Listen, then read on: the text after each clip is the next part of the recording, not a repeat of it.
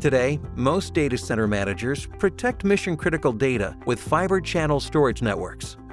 This infrastructure provides lossless data protection purpose-built to meet recovery point and recovery time objectives.